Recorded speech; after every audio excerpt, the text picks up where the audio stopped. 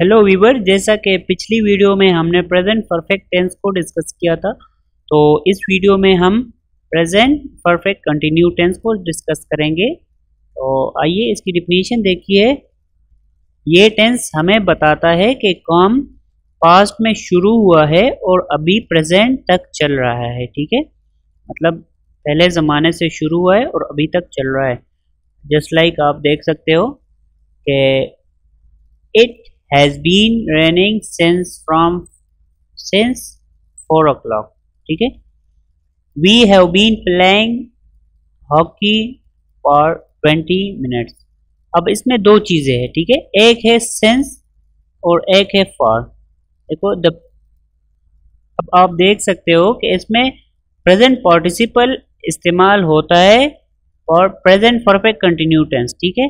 गो तो क्या हो जाएगा? ये गोइंग हो जाएगा।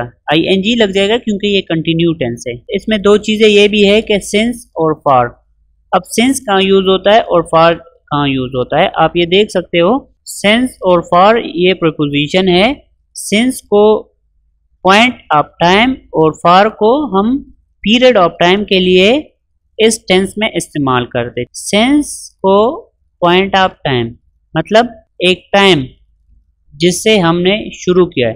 तो उधर क्या शुरू, फॉर एग्जांपल, बारिश चार बजे से हो रहा है, अभी तक हो रहा है तो ये सेंस होगा। और अगर हम कहें कि बारिश बीस घंटों से हो रहा है तो फिर क्या हो जाएगा? फिर फॉर लगेगा, ठीक है? अब आप इसके जुमलियों को देखिए। इसमें भी तीन किस्म के हैं एफॉर्मेटिव नेगेटिव एंड इंट्रोगेटिव सबसे पहले एफॉर्मेटिव है, ये जुमला बनता है subject helping verb plus have been and object आप एग्जांपल देख सकते हैं। I have been going we have been going you have been going he she it के साथ हैज़ लगता है और दे के साथ हैव लगता है। इसके बाद फिर नेगेटिव सेंटेंस है तो आपने देखा होगा पिछली वीडियोस में भी और इसमें भी नॉट हैज़ और हैव एंड बीन के दरमियान लगता है। आप इस टेंस में भी देख सकते हैं। जैसा कि आपने पिछले टेंसेस में भी देखा इस टेंस में भी देखे नॉट दरमियान में लगेगा हैज़ और हैव और बीन के दरमियान हैज़ हैव और या बीन के दरमियान लगेगा। आप एग्जांपल में देख के फिर समझ आ जाएगा। Subject I have not been going देखिए वी हैव ठीक है? हैव या हैज़ जिस तरह ही के साथ हैज़ है यू के साथ हैव है, फिर क्या दरमियान में नॉट लग गया और बीन उसके बाद लगा, फिर वर्ब लग गया। तो ये आपका एक जुमला बन गया कौन सा?